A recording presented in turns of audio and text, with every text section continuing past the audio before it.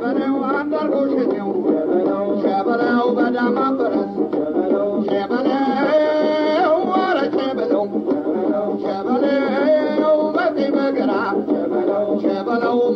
ያፈራ ገናናው የጥቁር ፈርጥ ያበሻ ንጉሥ። ከራስ በላይ ለሀገር ክብርና ጥቅም የቆሙ የስልጣኔ አባት።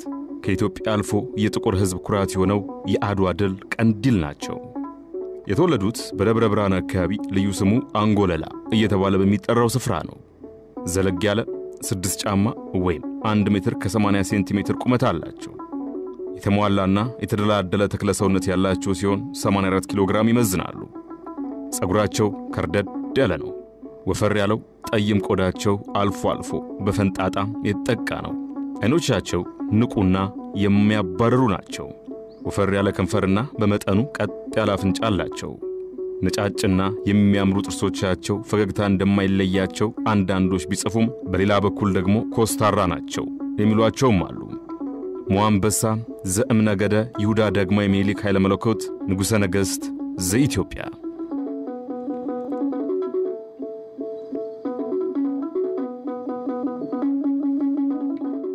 በዛሬው ዝግጅቴ አፄ ምኒልክ ማን ናቸው? ውልደትና እድገታቸው ምን ይመስላል? እንዴት ወደ ንግሥና አመሩ? በእርሳቸው የሥልጣን ዘመን የነበረችው ኢትዮጵያ ምን መልክ ነበራት? የንጉሡ የሥልጣን ዘመን በምን ሁኔታ አጠናቀቀ? የሚለውን አስቃኛችኋለሁ። በእርግጥ ከአርባ ዓመታት በላይ በሥልጣን ስለቆዩት ብዙ የሚነገር ብዙ የሚጻፍ ታሪክ ስላላቸው አፄ ምኒልክ ነገሮችን መልካስ ይዞ በአጭር ማቅረብ እንደሚታሰበው ቀላል ሊሆን እንደማይችል ተከታታዮች ልብ ሊሉ ይገባል። ሌላው በመሰናዶ ውስጥ የተካተቱ መረጃዎች በሙሉ ከትክክለኛ የታሪክ መጻሕፍት የተወሰዱ መሆናቸውን እወቁልኝ። አፄ ምኒልክ በ1836 ዓ ም ቅዳሜ ነሐሴ 12 ቀን ከእናታቸው ወይዘሮ እጅጋየሁ አደያሞ ተወለዱ። የሚኒልክ እናት ወይዘሮ እጅጋየሁ ከባላባት ዘር የተገኙ አልነበሩምና በንጉሥ ሳህለ ሥላሴ ቤት የልጅ ሞግዚት ነበሩ። የሸዋው ንጉሥ የንጉሥ ሳህለ ሥላሴ ልጅ ኃይለ መለኮት ከእጅጋየሁ ጋር በመተኛቱ ሚኒሊክ ተወለደ። ሕፃኑ ሚኒሊክ ከንጉሣዊ ቤተሰብ እንዲወለድ ምክንያት የሆነው እናታቸው ከንጉሣዊ ቤተሰብ ውስጥ የልጅ ሞግዚቱና መቀጠሯ ነበር። ንጉሥ ሳህለ ሥላሴ በቤታቸው የተከናወነውን ሁሉ የሰሙት ዘግይተው ነበር። ንጉሡም ልጃቸው የንጉሥ ልጅ ሆኖ እያለ ያላቸው አገልጋዩን በማጸነሱ ተናደው ወሬው ከአገሬው ጆሮ ከመድረሱ በፊት እጅጋየሁ ርስታቸው ከሆነው አንጎለላ ሂዳ እንድትቀመጥ አድርገው እንደነበር ይነገራል። ንጉሥ ሳህለ ሥላሴም የንጉሥ ልጅ ከአገልጋዩ መውለዱን ሲሰማ ሸዋ ምን ይላል ብለው በማሰብ የልጅ ልጃቸውን ምን ይልህ ሸዋ ብለው ሰይመውት ነበር። ንጉሥ ሳህለ ሥላሴ ሚኒልክ እያደገ ሲሄድ ተቀበሉት። ስሙንም ቀይረው ሚኒሊክ አሉት። እንዲህ ለመባሉ የተለያዩ ንግርቶች ስለመኖራቸው ክብረ ነገሥት ላይ መጻፉን አፄ ሚኒሊክ በሚለው መጽሐፋቸው ጳውሎስ ኞኞም በገጽ 12 አስፍረዋል። ይሁንና በዘመኑ ከድሃ መወለድ እንደ ነውር ተቆጥሮ ሚኒሊክ በሚገባቸው ልክ ከአያታቸው ጋር እንዳያድጉ ቢደረግም ነገር ግን በወቅቱ የልዑላን ወንድ ልጆች መማር ይጠበቅባቸው የነበሩ እንደ ፈረስ ጉግስ፣ ጋሻና ጦር አጠቃቀም፣ ለወታደራዊ ተልእኮች ዋናን መልመድና ወንዝ ማቋረጥ የመሳሰሉ መሠረታዊ ነገሮችን በአግባቡ ተምረዋል። የሚኒሊክ አያት የሸዋው ንጉሥ ንጉሥ ሳህለ ሥላሴ ከዚህ ዓለም በሞት ሲለዩ የሸዋውን አልጋ የንጉሡን የመጀመሪያ ወንድ ልጅ የሆኑት የሚኒሊክ አባት ኃይለ መለኮት ወረሱ። እናም ንጉሥ ኃይለ መለኮት ለስምንት ዓመት በዙፋን ከቆዩ በኋላ አፄ ቴዎድሮስ ኢትዮጵያን አንድ ማድረግ የሚለውን ዓላማ ይዘው ሸዋን ለማስገበር ወደ ሸዋ በዘመቱ ጊዜ የሸዋው ንጉሥ ኃይለ መለኮት አፄ ቴዎድሮስን ለመዋጋት ዝግጅት እያደረጉ ሳለ በሕመም ምክንያት አርብ ሌሊት ጥቅምት 30 ቀን 1848 ዓ ም ቀድመው ከዚህ ዓለም በሞት ተለዩ። በወቅቱ የሸዋ ሰዎች የግዣቸውን ሥርዓት ቀብር ፈጽመው የ11 ዓመቱን ሕፃን ሚኒሊክ ከአፄ ቴዎድሮስ ለመታደግ ሽሽት ጀመሩ። ሕፃኑን ይዘው የሸሹት የሸዋ ሹማምንት ከአፄ ቴዎድሮስ ጋር ባደረጉት ጦርነት ብዙ ሰው አለቀ። በዚህ ጊዜ አፄ ቴዎድሮስ አባት ያለ የአባትህን እሰጥሃለሁ፣ የአባት የሌለ ደግሞ እኔ ነኝ አባትህ የሚል አዋጅ በሸዋ አስነገሩ።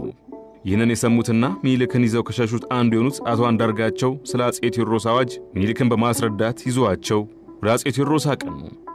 ንጉሡም ሚኒልክን በደስታ ተቀበሏቸው።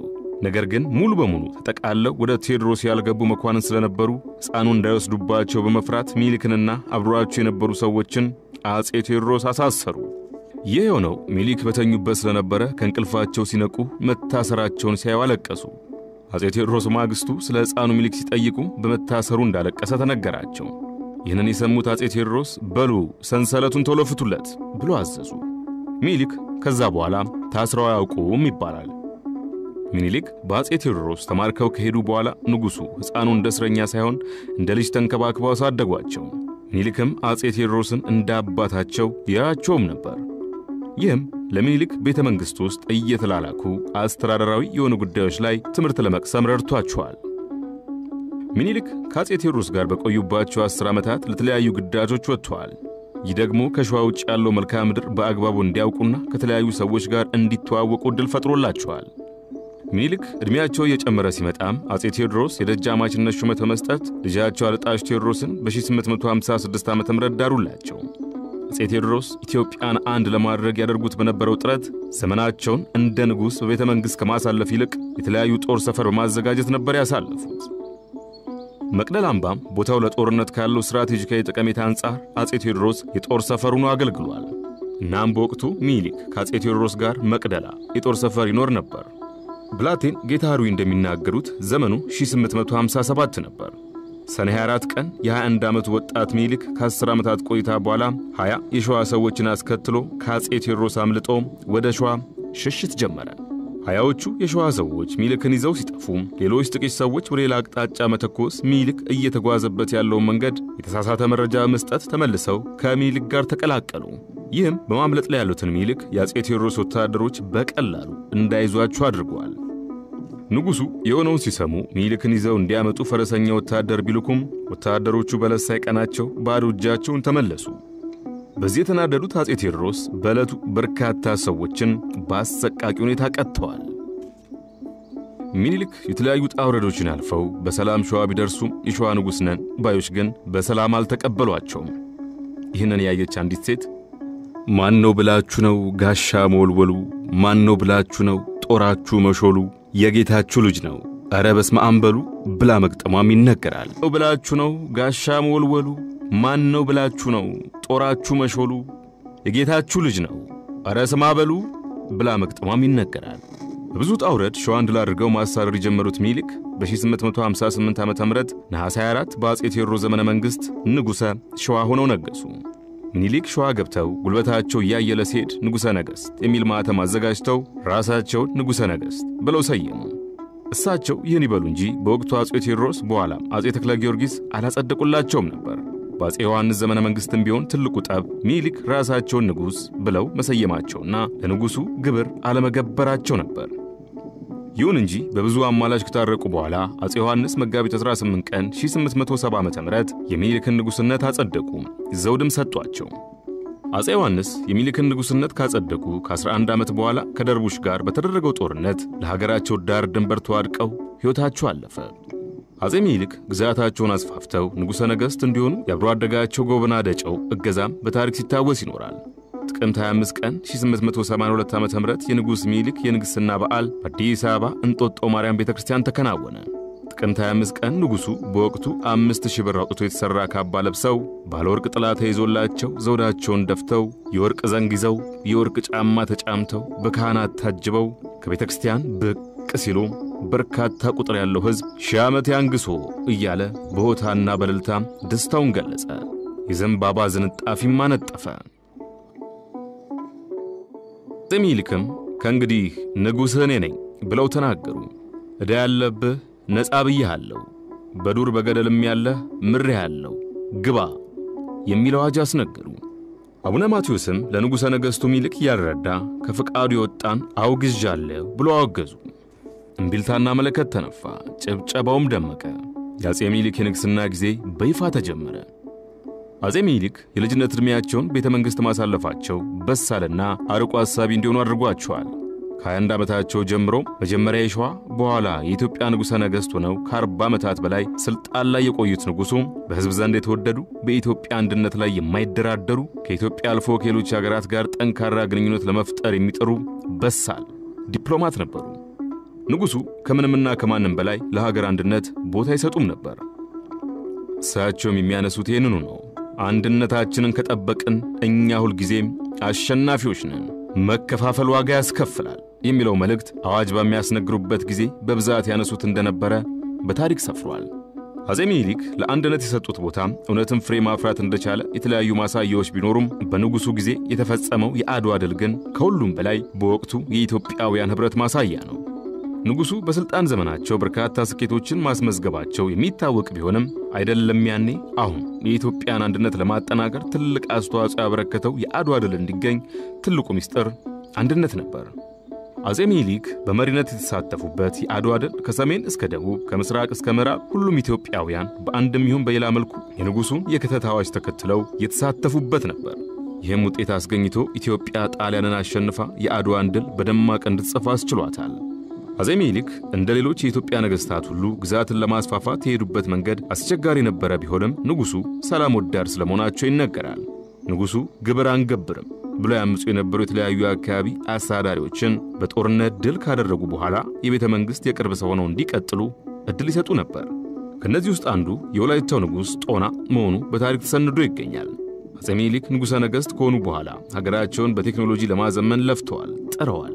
ይህ ደግሞ ተሳክቶላቸዋል። አሁን ላይ የምንጠቀምባቸው የቴክኖሎጂ ውጤቶች በብዛት በእሳቸው ዘመነ መንግሥት ወደ ሀገር ውስጥ የገቡ ናቸው። ስልክ፣ የቧንቧ ውሃ፣ መኪና፣ ዘመናዊ መንገድ ግንባታን ጨምሮ አሁን ላይ የዕለት ተዕለት ኑሯቸውን ለማቅለል የምንጠቀምባቸው በርካታ የቴክኖሎጂ ውጤቶችን ለሀገሬው ያስተዋወቁም እርሳቸው ናቸው። እንዲያው በጥቅሉ በእሳቸው ዘመን ካልተፈበረኩት የቴክኖሎጂ ውጤቶች በቀር ንጉሡ በወቅቱ የነበሩ አዳዲስ ቴክኖሎጂዎችን በሙሉ ወደ ሀገር ውስጥ አስገብተዋል ማለት ይቻላል። ከአጼ ቴዎድሮስ ልጅ ካለጣሽ ቴዎድሮስ ጋር በለጋ ዕድሜያቸው ጋብቻ መስርተው የነበሩት አጼ ሚኒሊክ ሕይወታቸው እስኪያልፍ ድረስ አብረዋቸው ከኖሩት ከጣይቱ ብጡል ጋር ትዳር ከመተሳሰራቸው በፊት ከወይዘሮ ባፋና ጋርም በትዳር ቆይተዋል። ከባፋና ጋር ንጉሡ በፍቺ ከተለያዩ በኋላ ሚያዝያ 21 ቀን 1875 ዓ ም አቡነ ማቴዎስ በዕለተ እሑድ አጼ ሚኒሊክና ጣይቱ ብጡልን አንኮበር በሚገኘው መድኃኔ ዓለም ቤተ ክርስቲያን አቁርበው በተክሊል አቆራኟቸው። ከባላባት ዘር የተገኙት ጣይቱ ብጡል በወቅቱ በባህሪ ረገድ ጠንካራ የሆኑ ሴት እንደሆኑ ይነገር ነበር። አጼ ሚኒሊክ ከጣይቱ ብጡል ጋር በቅዱስ ቁርባን የፈጸሙት ጋብቻም ክብራቸው ይበልጥ ከፍ እንዲል አድርጎታልም ይባላል። በፋሲካ በዓል ዕለት በተካሄደው በዚህ የንጉሡ ጋብቻ በልዩ ሁኔታ የተካሄደ ሲሆን ምስጢራዊ ጋብቻ ከመሆኑ የተነሳ ማንም በጋብቻው በዓል እንዲታደም አልተፈቀደም ነበር። ጋብቻው ለፋሲካ በዓል ለጸሎት ከመጡ ምዕመናን ጋር ብቻ የተከናወነ ነበር። የአጼ ሚኒሊክና የእቴጌ ጣይቱ ጋብቻ ለምን በሚስጥር እንደተከናወነ የሚገልጽ ምንም አይነት ማስረጃ የዚህ ጽሑፍ አዘጋጅ ባያገኝም ከቤተ ክርስቲያኑ ሥርዓት በኋላም ቢሆን ምንም አይነት ሥነ ሥርዓት ለሰርጉ አልተደረገም።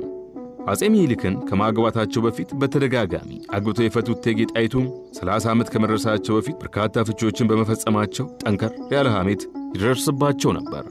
እቴጌ ጣይቱ ከሚኒሊክ በፊት አምስት ፍቺዎችን አድርገዋል።